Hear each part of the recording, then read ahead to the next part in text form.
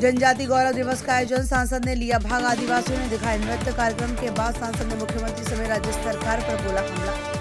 प्रधानमंत्री नरेंद्र मोदी द्वारा 15 नवंबर को बिरसा मुंडा की जयंती को जनजाति गौरव दिवस के रूप में मनाने की घोषणा के बाद आज बारह में जनजाति गौरव दिवस का आयोजन किया गया, जिसमें बड़ी संख्या में शाहबाद क्षेत्र के आदिवासी समाज के लोगों ने भाग लिया।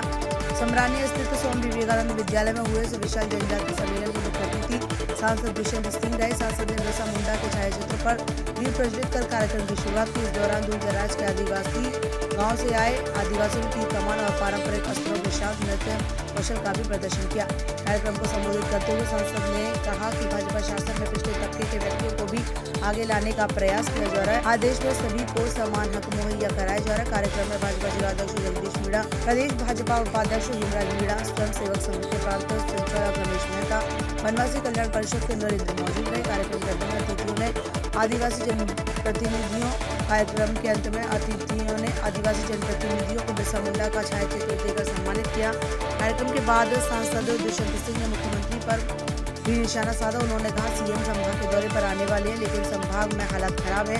किसानों को बिजली की डीपी नहीं मिल रही। उल्टे दाम बढ़ाए जा रहे हैं। डीएपी की कालाबाजारी हो रही। विकास के काम रुके पड़े। इस दौरान उन्होंने भरत सिंह और भाया के विवाद पर भी चुटकी ली। पेट्रोल के बढ़ते दामों पर भी उन्होंने कहा कि पूर्वी सरकार की तरह इस राज्य सरकार को भी आमजन को राहत देनी चाहिए। बारह से दिनेश सिंह के पास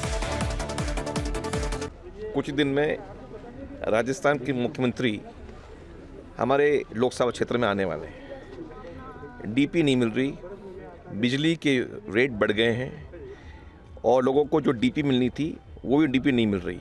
डीएपी का बिल्कुल यहाँ ब्लैक मार्केटिंग हो रही है। जो अ, विकास के काम थे सब कुछ रोक दिए गए हैं और खाली एक काम का हो रहा है। भरत सिंह जी बोल रहे हैं एक ही काम हो रहा है। आप आप एक बार भरत सिंह जी से आप आप पूछ लें क्या काम हो रहा है। ठीक है? उनकी, उन्हीं के उन्हीं के दल के नेता हैं भरत सिंह जी। उनसे आप एक बार पूछ लीजिए क्या काम हो रहा है।